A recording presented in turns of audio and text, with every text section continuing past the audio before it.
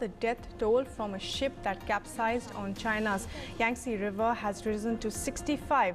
More than 370 people were still missing and families broke through a police cordon to march to the site and demanded answers.